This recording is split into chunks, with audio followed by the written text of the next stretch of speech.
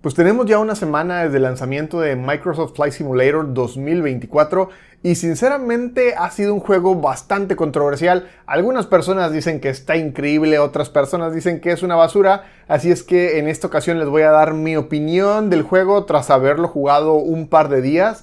Aquí quiero hacer primero una aclaración. Microsoft me mandó el código del juego. Sin embargo, la opinión que les voy a dar es completamente sincera tras estar conviviendo y hasta cierto punto peleándome con el juego durante estos días. Yo lo he estado probando directamente en Xbox Series X y lo que les puedo decir es que por lo menos en Series X no va bien. ¿Hay algún problema? No sé si en PC vaya mejor, al parecer sí pero vamos a ver directamente cuál es la experiencia que vas a tener si tú tienes Xbox Series X. Pues aquí tenemos la pantalla principal directamente del juego y la primera impresión que te da es que la verdad se ve impresionante. Los gráficos que tienen, por lo menos en esta escena, se ven muy muy bien.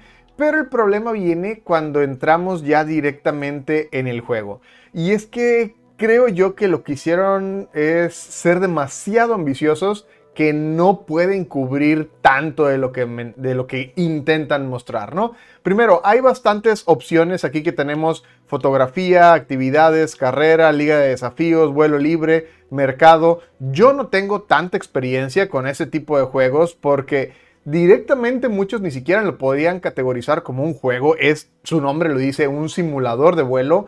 Aunque reconozco que para la gente que le gusta esto pudiera ser tremendamente divertido, pero aquí la verdad es que sí, creo que intentaron ser demasiado, demasiado ambiciosos porque intentan darte tanto que no logran darte una calidad excelente en lo que te dan. Por ejemplo, aquí en el modo carrera que puedes seleccionar, creo yo, de dónde eres, eh, la verdad es que tenemos un mapa prácticamente mundial y digo, no vas a pedir que esto sea un Google Maps, pero yo, por ejemplo, que soy aquí de Tampico, te puedes acercar y acercar y acercar. Y la verdad es que dices, ok, verdaderamente tienen absolutamente todo el mapa que tú puedes encontrar aquí, pero, o sea, ya que te acercas más, te das cuenta que algunas cosas se ven dibujadas y otras se ven bastante borrosas, pero bueno, esto podría pasar a ser irrelevante. Te dan un mapa mundial, no estás exigiendo Google Maps, pero bueno, está ahí la opción. El problema viene cuando ya entras a cualquier otra cosa. Y es que tenemos un tiempo de carga ridículamente alto en absolutamente todo. Por ejemplo, si yo quiero entrar aquí en estos de fotografía, me voy a esta de Asia, que aquí no he entrado. Y los tiempos de carga que tiene este juego me recuerdan verdaderamente a lo que teníamos la generación pasada con PlayStation 4, Xbox Series eh, o Xbox One, ¿cuál series? Eh, porque sinceramente son bastante altos. Aquí te decía que ya puedes iniciar, pero aún así entras a una etapa de carga nuevamente. Y una vez que ya libraste absolutamente todo eso, pues empiezas a tener normalmente ciertos detallitos, ciertos lagueos una vez que ya entraste directamente en el juego, que ya estás dentro de la aeronave. Aquí, por ejemplo, no sé cuánto tiempo ya haya pasado, pero estamos viendo que los tiempos son larguísimos. Y eh, yo creo que le falta mucho acerca de optimización, pero probablemente aquí el principal problema es que ahora en esta actualización, bueno, en esta actualización, en este nuevo juego del 2024, lo que hicieron fue cargar la textura desde, las desde la nube en línea para poder verdaderamente ofrecerte, mira aquí ingresamos y va bastante lagueado, listo para volar ahora sí, y voy y ahora sí ya entro y entro bastante bien, ¿no? Pero, por ejemplo, si entro al modo foto, ok, dices, se ve, se ve bastante bien aquí cuando estamos en el aire, pero en el momento en el que nosotros vamos aquí podemos ver ahí ciertos como parpadeos de la escena, y por dentro, la aeronave, sinceramente, se ve muy, muy bien. Los detalles, yo creo que es lo más realista que puedes tener directamente dentro de una aeronave. Pero al momento que bajamos, aquí hasta eso no se alcanza a apreciar tanto el problema como en zonas que son bastante más cargadas. Ahorita nos vamos a ir a una zona de ciudad. Aquí, si tú te vas a una escena que estás en las montañas, en el bosque, se ve bien. Sin embargo, sí vamos a tener ciertos detalles cuando nos acercamos a zonas que están más densamente habitadas o que tienen cositas que van a hacer batallar más. El problema de cargar las texturas en la línea es que principalmente vas a tener que estar lidiando aquí, bueno, este me sorprende, no se ve nada mal, no se ve cosa del otro mundo, pero en esta escena directamente no había jugado y no se ve nada mal, pero el problema es que sinceramente necesitas mucha, mucha buena, una conexión muy, muy buena para poder ver de manera real cómo es que se aprecia esto. Vamos a cambiar ahorita aquí la cámara. Eh, nos vamos a cámara y la toma externa. Vas a necesitar una muy buena conexión a internet y aún así en ocasiones llega a ser bastante frustrante. Este, la verdad, yo creo de los que me ha tocado jugar es el mejorcito. Si todo estuviera con la calidad que tenemos aquí, la verdad es que no me quejaría en lo absoluto. Pero bueno, vamos a buscarnos otro modo de juego para ver las diferentes variaciones y ver verdaderamente los problemas que podemos encontrar en este juego. Entonces, dentro de este menú, como vimos, hay bastantes opciones. Si nos vamos al área de mercado, aquí la verdad no sé si esté incompleto verdaderamente el juego y lo vayan a actualizar, pero simplemente me dice próximamente. Y si voy a la opción de biblioteca, eh, no entiendo del todo qué es esto. Me marca que todos son retransmitidos. No sé si son misiones, actividades, videos, gameplays o algo así. Pero bueno, está esa parte de próximamente. Y aquí en actividades es donde podemos ver el entrenamiento, carrera de rally, baja altitud.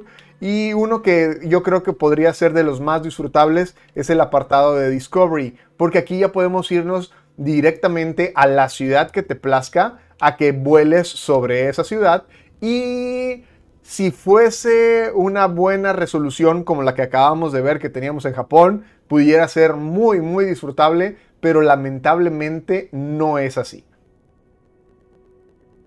Vamos a esperar que termine de cargar esto. Much, much later. Ok, ahora sí estamos ya dentro de la ciudad de Berlín y aquí es donde vamos a ver algo que es donde se representan los mayores problemas que tenemos en este juego desde mi punto de vista. Por ejemplo, estamos aquí en la ciudad de Berlín, en esta calle que lleva a las puertas de Brandenburgo, y eh, lo primero que puedes apreciar, vamos a ponerle atención a los carros. Vean los carros y no tiene sentido el movimiento que tienen los carros o sea, la inteligencia que tiene la inteligencia artificial es eh, verdaderamente bastante, bastante burda. Aquí, por ejemplo, solo hay uno, pero ahorita si llega algún otro carro, vamos a poder ver cómo en ocasiones chocan, van hacia un lado, se regresan en sentido contrario. Aquí, por ejemplo, este acá se acaba de regresar en sentido contrario y luego se regresa para donde venía. Eh, esto es una glorieta que tiene únicamente un sentido, pero la inteligencia artificial, si tú quieres poner atención a los carros, la verdad es que es eh, ridícula. Hay veces que, bueno, ahorita por ejemplo no se ve nada de tráfico, pero hay veces que se ve más. Miren, este, si alcanzaron a apreciar, va, se regresa, ahorita va en sentido contrario, eh, aparecen de la nada, se borran, pero bueno. La inteligencia artificial, hasta eso dirías, ok, si estás volando, ¿quién le va a poner atención directamente a los carros? Pero vean, el monumento. Este, si no me recuerdo, es como, es bastante similar al Ángel de la Independencia de la Ciudad de México. Les voy a poner aquí una imagen de cómo se ve este monumento. Y aquí, sinceramente, no se aprecia absolutamente nada. Se ve una cosa ahí parada con un bulto metálico en la parte frontal y esta parte de abajo es horrible, verdaderamente. Vámonos un poquito más adelante, ya lo que es dentro de la ciudad, para que podamos apreciar. Y ese es el problema que tenemos. No sé si es únicamente porque todas las texturas se cargan en línea. Y de hecho yo dije, probablemente tengo algo mal que no me está dando directamente aquí estos detalles que deberían darse o que por lo, por lo menos se distinguieran, porque verdaderamente ni siquiera se alcanzan a distinguir. Aquí, por ejemplo, Este, que son las puertas de Brandenburgo, aquí sí, probablemente este es de los que mejores se ve, porque estuve dando unas vueltas aquí en la ciudad de Berlín y la mayoría, la mayoría de los monumentos o de las cosas históricas no se distinguen en absoluto, pero las puertas de Brandenburgo son de los que tienen mejores acabados. Este sí, este de toda la ciudad de Berlín es lo que mejor se ve. De ahí en fuera, verdaderamente yo creo que todos, todos los demás van a tener una calidad pésima, por decirlo menos. Y acabo de chocar. Y miren, hay bugs, hay cosas que no tienen mucho sentido. Aquí, después de chocar con las puertas, me aventó de reversa para el otro lado.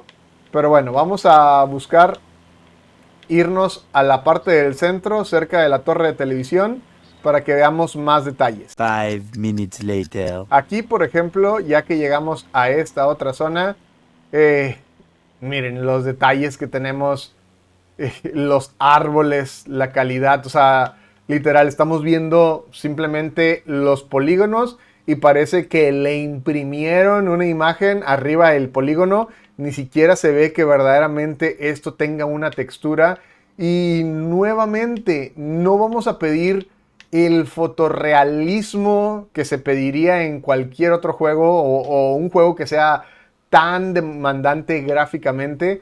Pero esto la verdad, híjole, se ve bastante mal. Y el problema es que existe una versión de este juego que cuesta, si no mal recuerdo, alrededor de 120 dólares, 2.500, si no mal recuerdo, pesos. Este, que de hecho esa fue la versión que, me mandaron. Yo la verdad estaría muy molesto si pagara esa cantidad por este juego. Si nosotros vemos todo desde arriba, la verdad es que no se ve mal. Pero...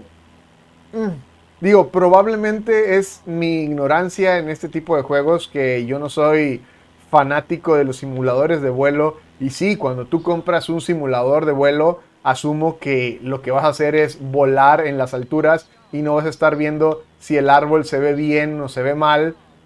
Pero la verdad que la calidad que tiene el ver directamente los polígonos tal cual, sin una forma definida verdaderamente, pues sí dejan mucho que desear. Como les mencionaba, los tiempos de carga son grandísimos.